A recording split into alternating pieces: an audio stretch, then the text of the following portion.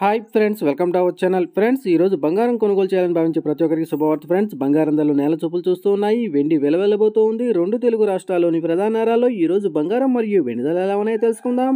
అందుకంటే ముందుగా మంచి మీకు ఒక రిక్వెస్ట్ మా వీడియోని ఇంకా లైక్ చేయకపోతే లైక్ చేయండి. మీరు ఇచ్చే లైక్ నాకు ఎంతో సపోర్టింగ్ అండ్ ఎంకరేజింగ్గా ఉంటుంది. అదేవిధంగా మా ఛానల్ని సబ్స్క్రైబ్ చేసుకోండి. పక్కన వచ్చే గంట సింబల్ యాక్టివేట్ చేసుకోండి.